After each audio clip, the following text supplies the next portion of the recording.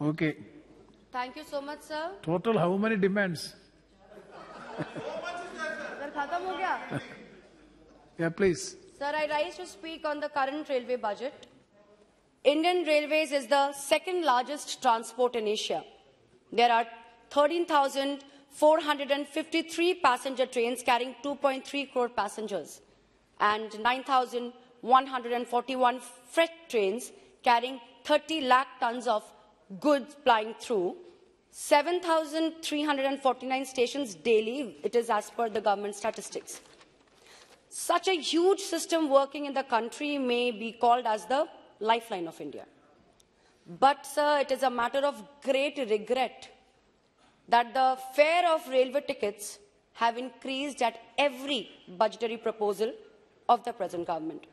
To travel in trains like Rajdhani Express or Duronto Express, it has become out of reach for the common people, which back in the past was much easier, much easily purchased at the time when our present Honorable Chief Minister of West Bengal, Mamta Banerjee, was the Railway Minister of India.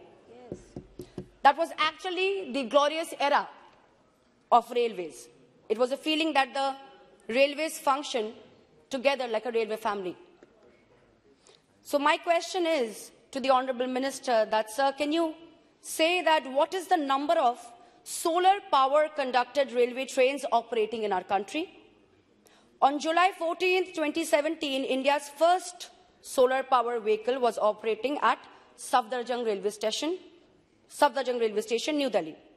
Solar power train can save us from the huge pollution and from all the thick black smoke that we get from diesel, uh, diesel engines.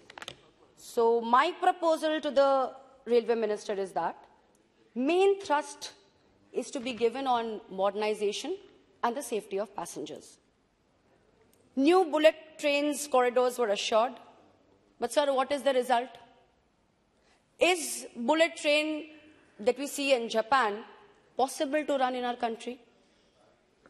Because our soil is not fit for such type of trains to operate.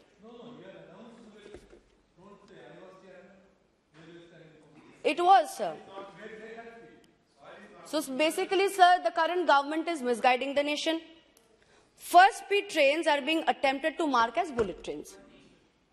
Names of seven corridors have been sanctioned, but no budgetary support has been allotted. Why is the nation being bluffed? You have already sold Air India. When is the Shubh Mahurat when you are going to sell Indian Railways? We also need to know that. Proposals for uh, PPP models have already started, which is the beginning of this ultimate purpose. We need to increase the railway connectivity in bigger way with coal connectivity and uh, port connectivity projects. So, sir, please tell us in your reply that uh, what is your future plan to run the Indian railways? Or is there is a plan to sell it part by part to the private parties? I had already in this house mentioned that this government is in a mood to sell all the public sectors, even if they are profit-making sectors. So I hope that the Indian railways do not have the same kind of fate, which we are apprehending. Reform railways to make it more efficient, greener, and modern, which will translate into cheaper, safer, assured mode of transport for our common man. The trains are not running on time.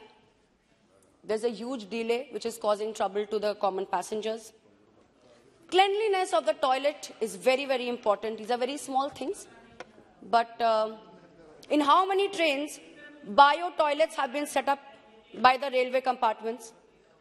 I would also request my other fellow MP colleagues that uh, with, your, uh, um, with your sufficient money that we get from the MP funds, why can't we allot the same, uh, a, a small amount of money to increase the seating arrangements in our respective constituencies? Here in Bengal, we MPs, we do that. I have done that. A lot of people have done that. These are very small matters, but matters of uh, importance. Thus, sir, I would end with a few other questions.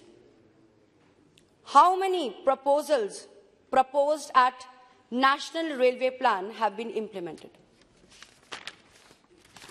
And I allege that West Bengal has been deprived in this railway budget. Please try to implement all the proposals which were proposed by the then Honorable Railway Minister, Mamta Banerjee, standing on the floor of this House.